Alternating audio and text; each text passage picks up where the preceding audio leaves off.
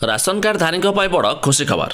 ଯଦି ଆପଣଙ୍କର ration card ରହିଛି ଆଉ ଆପଣ ସେଥିରେ ନୂଆ ନାମ ଯୋଡ଼ିବା ପାଇଁ ଚାହୁଁଛନ୍ତି ତେବେ ଜାଣି ରଖନ୍ତୁ ଆଗକୁ ନିର୍ବାଚନ ଦୁଇହଜାର ଚବିଶ ଆସୁଥିବାରୁ ଆପଣଙ୍କର ଏବେ ଏହି କାମ ହୋଇପାରିବ ସହଜ। ଆସନ୍ତୁ ସମ୍ପୂର୍ଣ୍ଣ ଅପଡେଟ୍ ଜାଣିବା ତା ପୂର୍ବରୁ ଭିଡ଼ିଓକୁ ଲାଇକ୍ କରନ୍ତୁ ସବସ୍କ୍ରାଇବ୍ କରିନଥିଲେ ଏବେ ସବସ୍କ୍ରାଇବ୍ କରି ପାଖରେ ଥିବା ଘଣ୍ଟି ଚିହ୍ନକୁ ଦବାଇ ଦିଅନ୍ତୁ। ଆପଣମାନେ ଏକଥା ଜାଣିଥିବେ ଆଗକୁ ନିର୍ବାଚନକୁ ଲକ୍ଷ୍ୟ କରି। ଆମ ରାଜ୍ୟ ସରକାର ପାଞ୍ଚ କେଜି ଲେଖାଏଁ ଚାଉଳ ପାଞ୍ଚ ବର୍ଷ ପର୍ଯ୍ୟନ୍ତ ମାଗଣା ଚାଉଳ ଘୋଷଣା କରିଛନ୍ତି।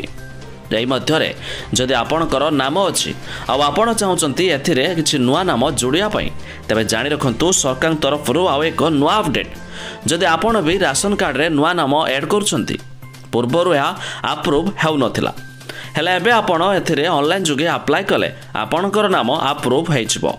ଯାହାଫଳରେ ଆପଣ ପାଞ୍ଚ ବର୍ଷ ପର୍ଯ୍ୟନ୍ତ ମାଗଣା ରାସନର ଲାଭ ମଧ୍ୟ ଉଠାଇ ପାରିବେ। ତେବେ ଯଦି ଆପଣମାନେ ଭାବୁଥିବେ କେମିତି ନୂଆ ନାମ ଯୋଡ଼ିବା ତେବେ ଏଥିପାଇଁ ଏହାର ଅନଲାଇନ୍ ପ୍ରୋସେସ୍ ରହିଛି। ତେବେ ଏହା ଉପରେ ଅଲରେଡ଼ି ଆମେ ଭିଡ଼ିଓ ବନେଇଛୁ ଆଉ ଏହି ଭିଡ଼ିଓର ଲିଙ୍କ୍ ଆମେ ଡେସ୍କ୍ରିପ୍ସନ୍ରେ ଦେଇଛୁ। ଆପଣମାନେ ଯାଇ ମଧ୍ୟ ଚେକ୍ କରିଦେଇ ପାରିବେ।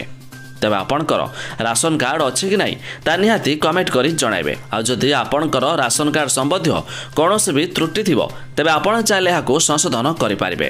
ଯାହାକି ପୂର୍ବରୁ ଆପ୍ରୁଭ୍ ହେଉନଥିବା ବେଳେ ଏବେ ଏହାକୁ ସହଜ କରିଦିଆଯାଇଛି। ତେବେ ଆପଣଙ୍କର ରାସନ କାର୍ଡ଼ ଅଛି ନାହିଁ ତାହା ନିହାତି କମେଣ୍ଟ କରି ଜଣାଇବେ।